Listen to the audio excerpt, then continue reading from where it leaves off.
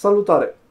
Ultimul laptop pe care vi l-am prezentat pe canal ca fiind de gaming era un Lenovo ThinkPad din 2012. Știu că nu era chiar de gaming, însă puteai să te joci destule chestii pe el, așa încât să nu te plictisești. Și a costat doar 550 de lei. Totuși, am ajuns la concluzia că ar fi timpul să aruncăm un ochi și la ceva din gama de gaming cu adevărat a celor de la Lenovo.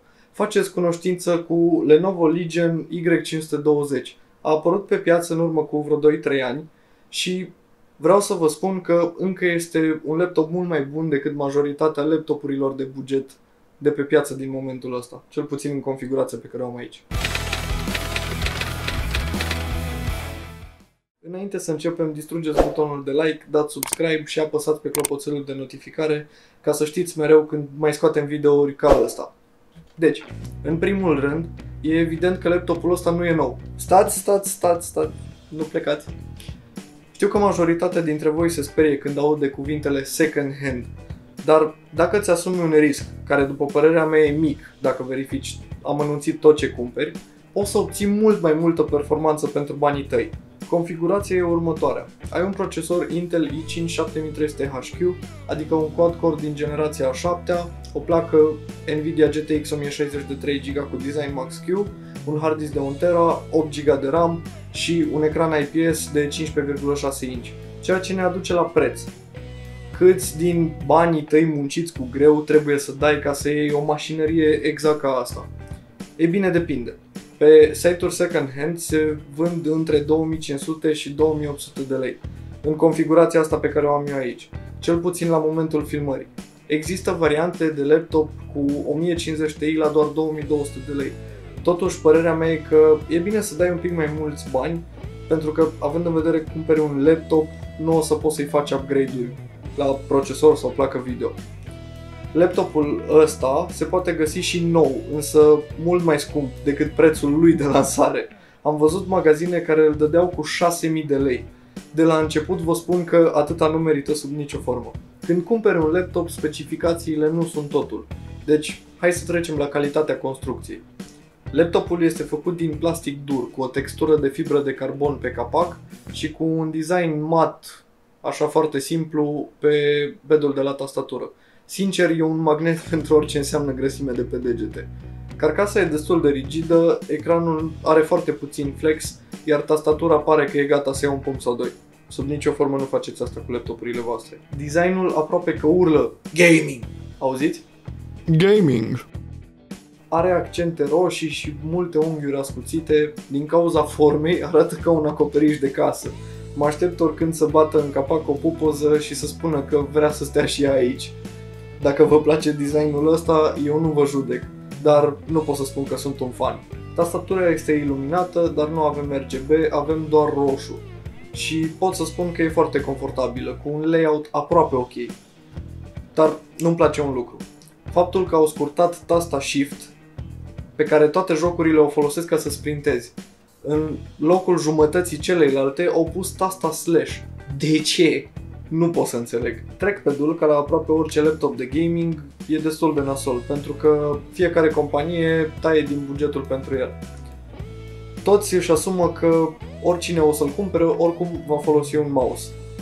Ceea ce e destul de adevărat, deci nu pot să condamn foarte mult practica asta, dar totuși nu e chiar bine. Boxele, deși sunt mai mari față de ale unui laptop normal, nu sunt chiar așa de puternice. Le cam lipsește basul, dar în altele și mediile se au destul de clar. Totuși, vă recomand o pereche de chestii din astea atunci când vă jucați sau vă uitați la filme sau orice faceți voi. Bateria încă mai ține cam 2 ore spre 2 ore jumate de browsing dacă pui un profil Power Saver, care mai limitează din performanță. Deci să nu vă așteptați să treceți printr-o zi de cursuri sau vreo călătorie lungă cu trenul. Sigur o să fie lungă pentru că știm toți cum merge CFR-ul. Ceea ce ne duce la punctul următor. Portabilitate. Laptopul cântărește cam 2,5 kg singur și 3,1 cu tot cu încărcător. Ceea ce, după părerea mea, nu e foarte bine. După o zi întreagă în ghiozdan, o să încep să-l simți. E cam ca și ThinkPad-ul ăla vechi pe care vi l-am arătat, numai că un pic mai subțire.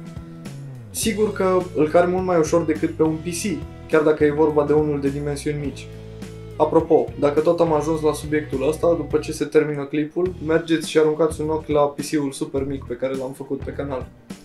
Așa, revenim. Ce vreau să spun e că, din punct de vedere al unui laptop, nu pot să-l încadrez ca fiind ultra portabil. Dar toți știm că laptopurile alea ușoare, subțiri de gaming, costă 7000 de lei plus. Deci, nu pot să fiu critic în privința asta. Selecția de porturi pe care o avem e chiar foarte diversificată. Pe partea stângă avem mufă de încărcare, un port de Ethernet, un USB 3.0 și un combo jack pentru căști și microfon. Iar pe partea dreaptă, două porturi USB, un port HDMI, un mini DisplayPort și un USB tip C.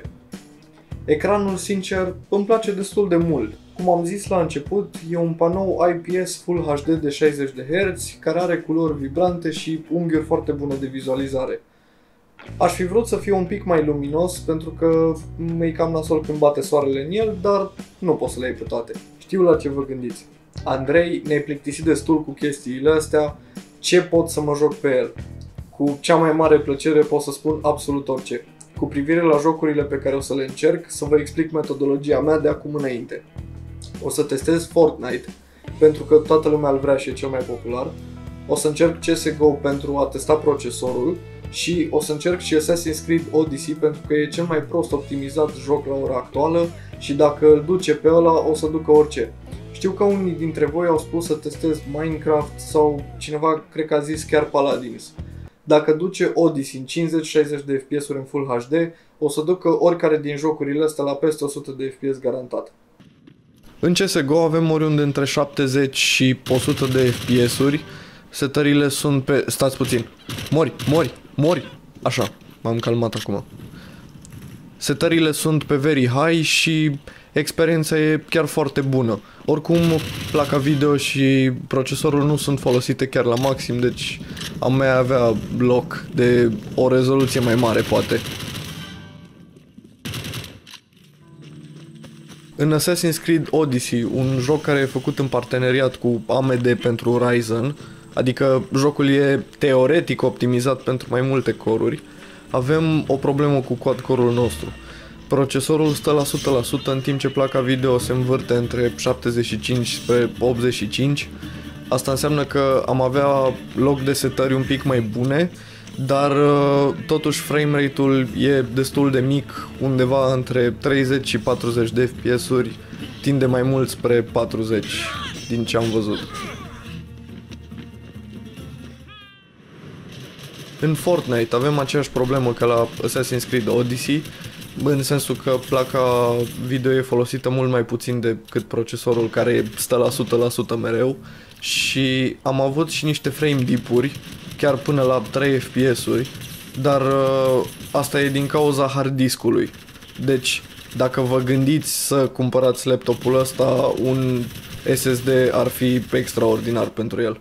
Setările pe care le-am folosit aici sunt o mixtură între medium și high, dar e clar că avem loc de setări mai bune pentru că frame rate-ul nu o să crească mai mult de atât, pentru că procesorul e la 100% mereu.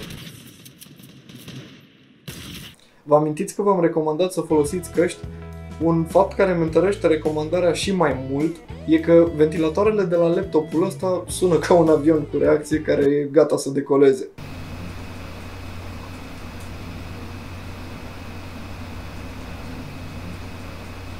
Acum că ați văzut rezultatele, să trecem la concluzii. Ce pierzi când mergi pe varianta asta și ce câștigi? În primul rând, ca de obicei pierzi garanția și generația 8 sau 9 de procesoare a celor de la Intel.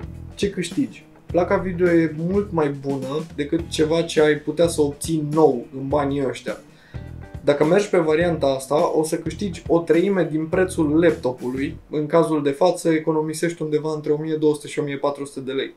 După părerea mea, e un risc pe care merită să ți-l asumi. Cu banii economisiți ai putea să repari orice s-ar strica la laptop, inclusiv placa de bază, iar dacă nu se strică nimic, o să rămâi cu portofelul mult mai gros.